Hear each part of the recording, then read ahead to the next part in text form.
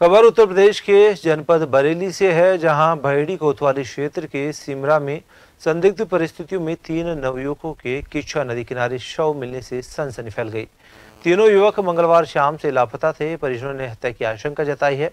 Police ने मौके पर पहुंचकर तीनों शवों को पोस्टमार्टम के लिए भेज दिया है। उधर गुस्साए लोगों को पुलिस ने समझाकर मामला शांत कराया। थाना बहेड़ी के तीन लड़के किच्छा नदी में नहाने गए थे, जहाँ पर उनकी डूबने से मृत्यु हो गई है। मौके पर उनकी मोटरसाइकिल और उनके कपड़े भी प्राप्त हुए हैं। फिर भी उनकी मृत्यु का सही कारण जानने के लिए पंचायतनामा के साथ साथ उनका पोस्टमार्टम कराया जा रहा है। पोस्टमार्टम की रिपोर्ट के अनुसार कार्रवाई सुनिश्चित करेंगे। और ज़्यादा जानकारी के लिए बरेली से संवाददाता प्रवीण कुमार फ़ोन लाइन पर जुड़ चुके हैं। प्रवीण किच्छा नदी के किनारे तीन शव मिलने से सनसनी फैल गई है।